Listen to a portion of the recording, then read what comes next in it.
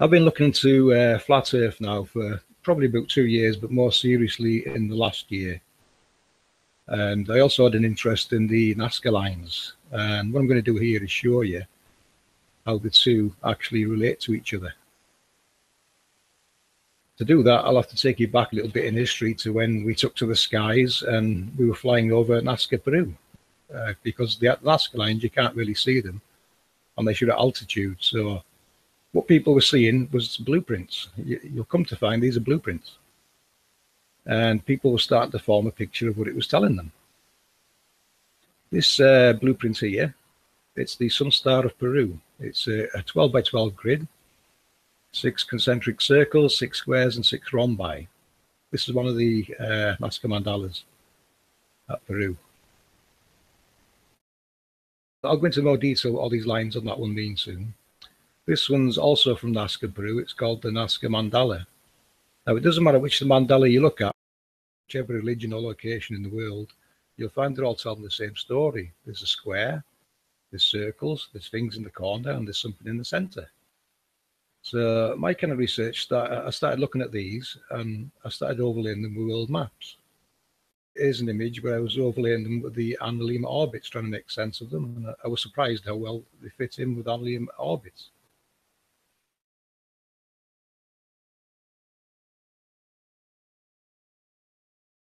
This one here, there's some more information on it. Uh, basically, what it's telling you is it's uh, giving you the dimensions of this grid. And at the end of it, it wanders off into what it says is the distance between the sun and earth, which we know is a lie. It's not that far away. What it's really describing here is the internal cubed dimensions of a Merkaba. That's where this figure is really coming from. If you follow this through, you will see it is cubing a Merkaba. So consider that and we'll continue with this. You notice the 666 there, that's been referenced uh, in scripture before and lies been told about it. Just thought I'd mention that there. Right, so with this configuration, it gives us this. This map here is the one done by Ceres. And above all this, this network of grids, onto his map. Take a look at the grids. There's an 8 by 8 which is the center grid with these three things in each corner. And then the external grid of the 12 by 12. So I'm now looking at how this relates to a world map. I'm using this world map because it's the only world map I've found that shows the true scale of Antarctica. Now you can see correlation going on here uh, where things start to line up. I'm going to go more into detail later in the video of, of things in between what you can see there also and more detail on the grid itself. Again, referenced biblically or in scripture, the angels in the north, south, east and west, I think are relating to these four corners that are shown on the 8x8 grid. The 8x8 grid is the what we would probably be known as the Antarctic Circle. Going by their own numbers, I think it was 24,800 miles on the globe, you know, the circumference of the globe, 24,800 miles thereabouts. On this, you know, that would equate to each square on the grid being 3,100 miles going from one side of the Antarctic to the other. Now, this uh, demonstration you're seeing here is the whole grid lit up the 12 by 12 and the 8 by 8 and a Merkaba added on top to see what it's forming. And what a pretty picture it paints, doesn't it?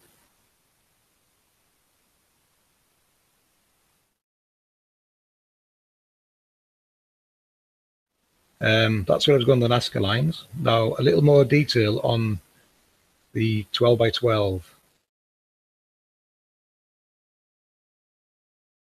the Solomon's Temple. If you decode Solomon, it really means solo mono, temple of the sun and moon. Now, if you look at it in detail here, you notice when you put these geoglyphs into a 3D environment and pan around them, you start seeing a different picture being presented. If you look carefully, you will see a six-tier pyramid with six concentric circles encircling it. So that got me thinking, you know, is this something below us? What's down below us? Is this the underworld that's been mentioned? You know, the underworld referenced in scripture and the book of Enoch, these places below ground. Food for thought, perhaps, but it got me thinking about uh, pyramids and portals. Let's take a look at that again. We've got the 12 by 12, overlay the 8 by 18.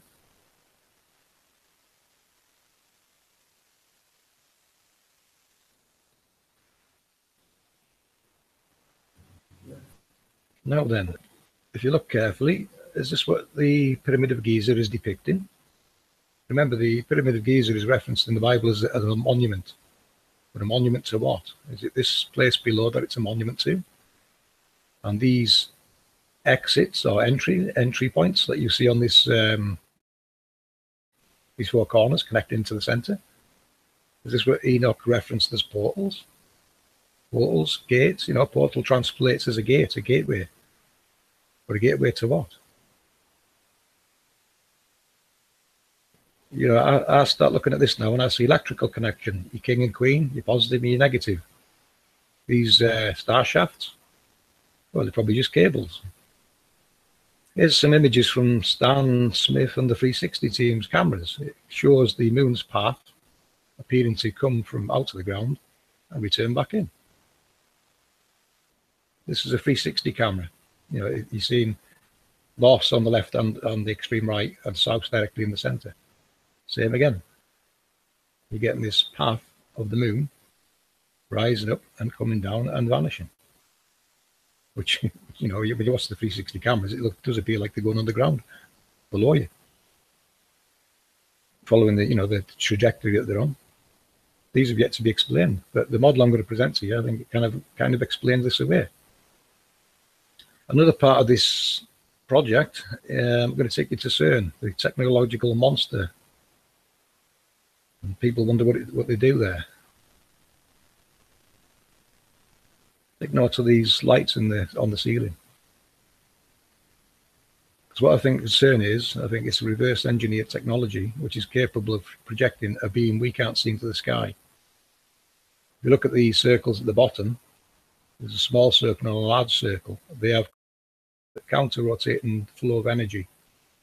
And I think this creates a third halo that isn't visible to us, but Enoch referenced as chariots. We'll get more into that, don't worry. and I think the sun, the sun and moon actually use these to maneuver around our sky. Take a look at this um, video taken by Brendan Clark on YouTube he reported it as a camera malfunction or, or the the unit, the motor the camera was on, but that was me tracking it, and it appears to go around the outside of one circle around another. This here, I think this is CERN's predecessor. The reason I say that is the design of it. It appears to be alive, neutral, and Earth, with two elements in the center which are possibly counter-rotating uh, the floor, which would create an electromagnetic field. So this is what I think is responsible for the what you see and report as the flower of life. It is this technology, the Fibonacci sequence.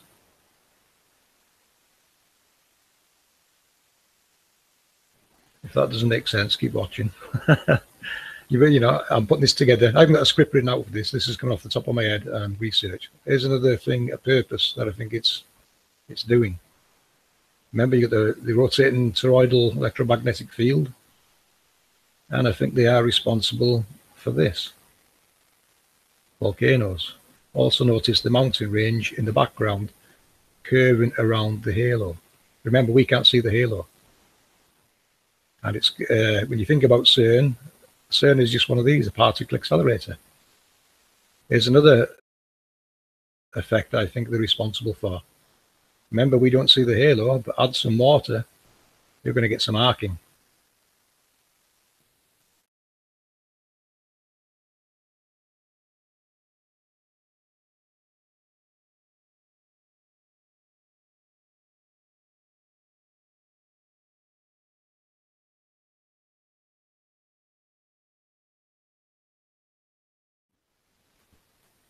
So consider that, people. This is a type of technology that is creating a halo in the sky.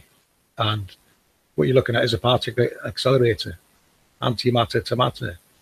And if you haven't guessed it yet, you are looking at an angel and its halo. This is an angel and its halo. And this is how they work. They're particle accelerators. You can do antimatter to matter. Because when you start going down the route of looking into angels, you start going into the uh, the Enochian language. Would you believe this was a blueprint found in England, UK? And it's not unique to UK either. Uh, sorry, not a blueprint, a crop circle. It's a crop circle from UK, but this it's not unique to UK. This design's been seen before. But the design itself gives the game away to me. Why would something of that design exist? It's got mathematical precision, and its purpose appears to be something to do with these two uh, elements in the center one being larger than the other and one having a counter rotating the floor.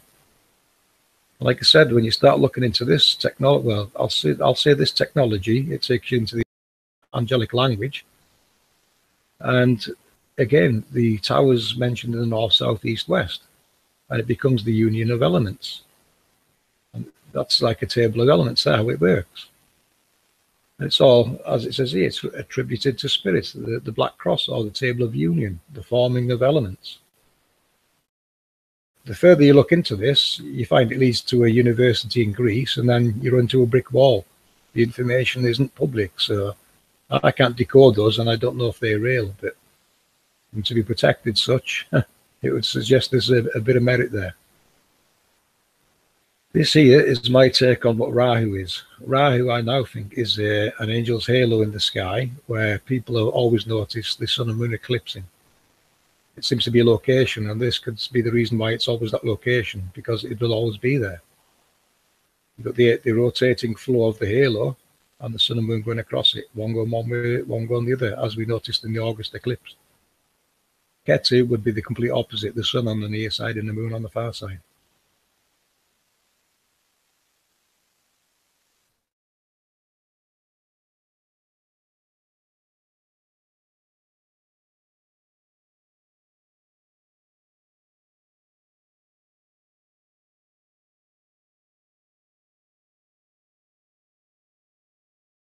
Right, look at this webcam footage from Neumayer Station in Antarctica. Do you see unusual movements from our sun and moon there?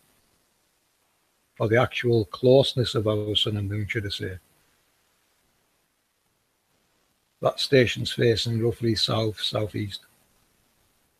So that, that sun and moon race came from the south of Antarctica, which has been mentioned by Admiral Byrd before. But do notice on this footage, this is real footage from their own cameras. It's a German station in Antarctica. Look what's going on here with the sun. Does this look normal to you people?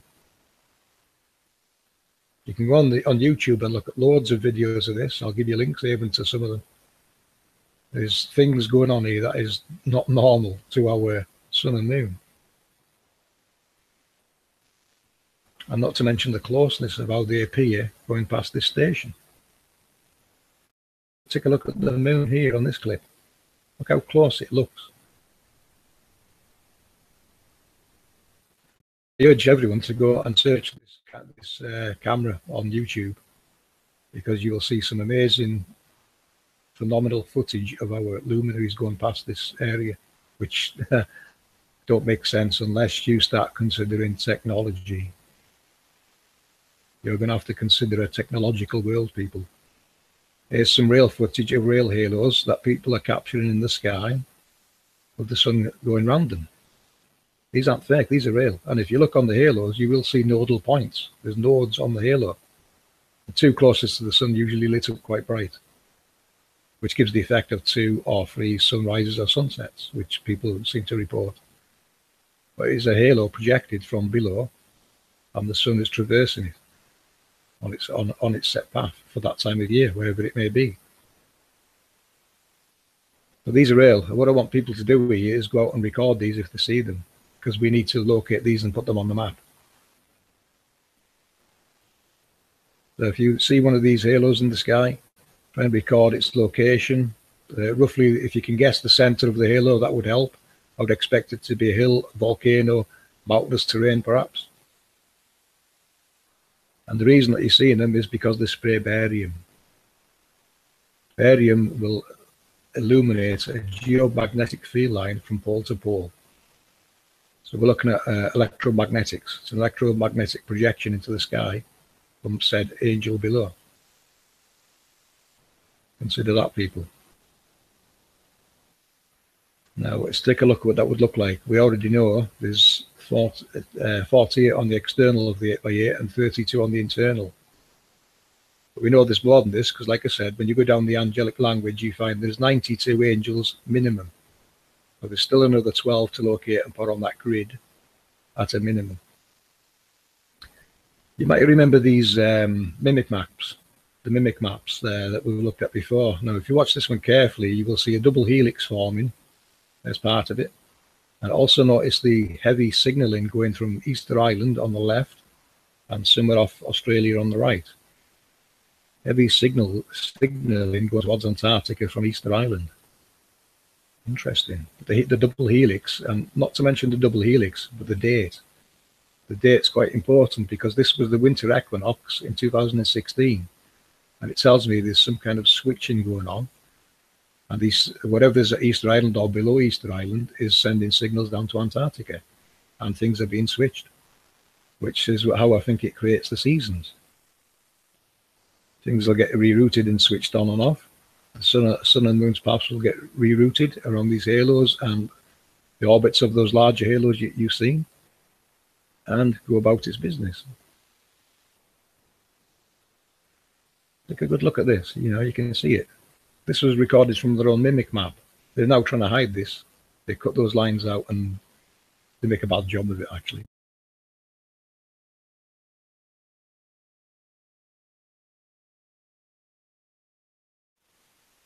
And you'll see where they're cutting pieces out to try and hide what's going on.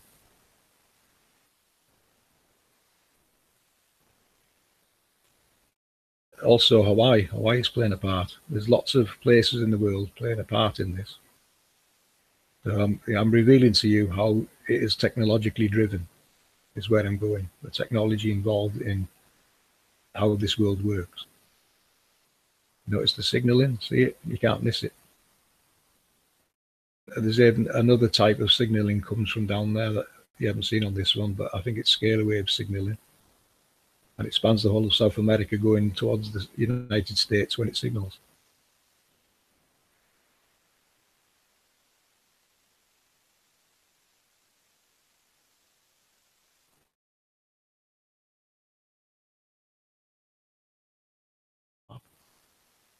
Now, this is the double helix overlaid on, I'll just pause it there. This is the double helix overlaid on what Ceres found to, and calls the four pillars, which point towards the center of our world, say, uh, Africa would be just slightly right of center in the middle of that helix. You see the pattern it's forming there between these four pillars. It's like a signal looping back and through between these four pillars. Again, the four pillars biblically referenced. The Bible's telling truths and it's panning out into what we're the, the research we're finding here. Here's uh, some overlays of uh, earthquake data and possibly volcano data. Just so I can, you know, I can see how it relates to the grid. I'm trying to follow paths on this grid to see what's going on with this grid. There's 20 years worth of solar eclipses.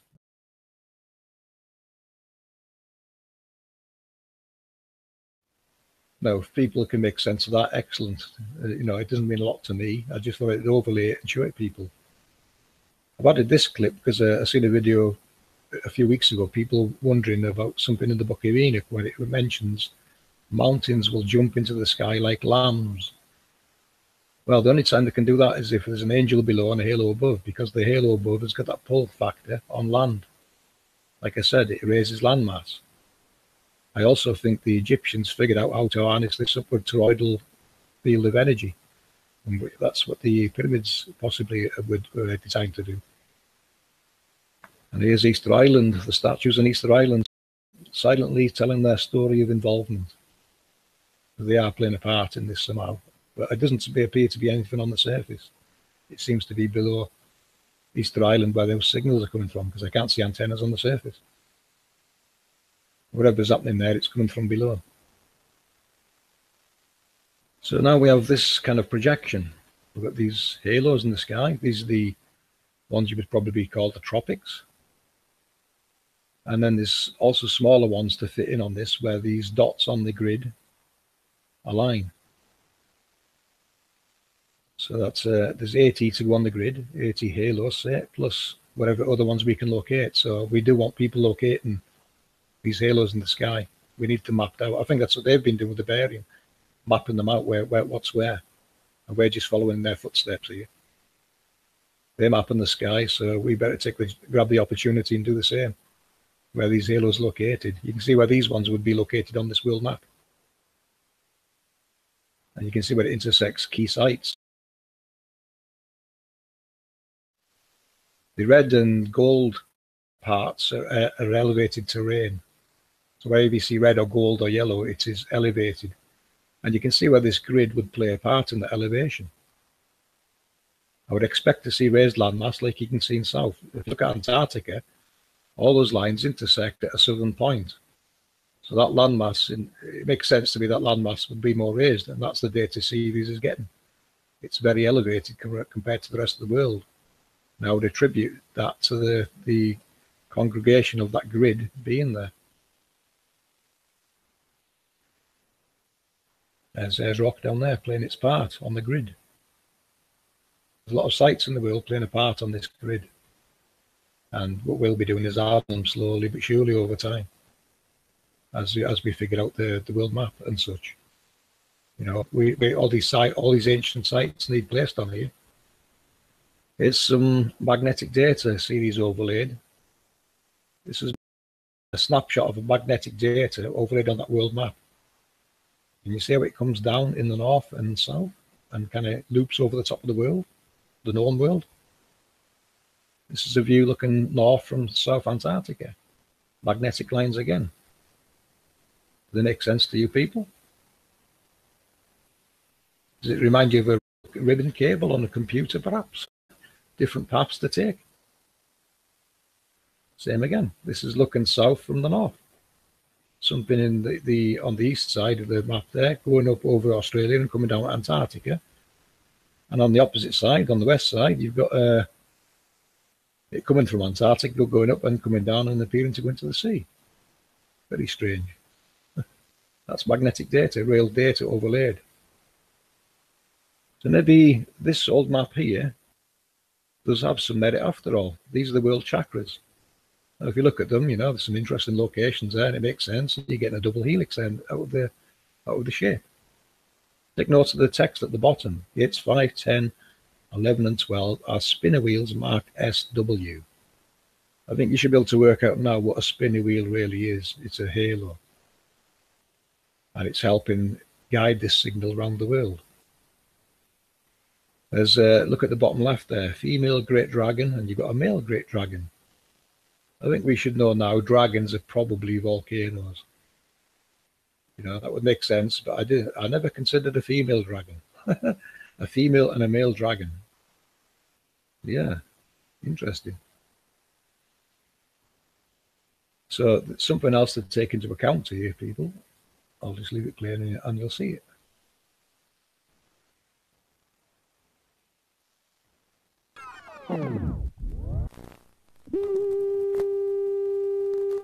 Are we looking at something like this?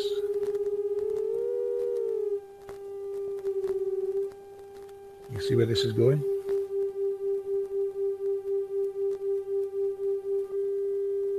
Stan Smith and the 360 team are currently looking into uh, this kind of relationship. And so I thought I'd put that map on there because I can see where my work now starts all over, overlaying into what Stan Smith's team's looking at. I just thought I'd put that there for you, Stan. See if it helps you. But yeah, I think you're on the right path.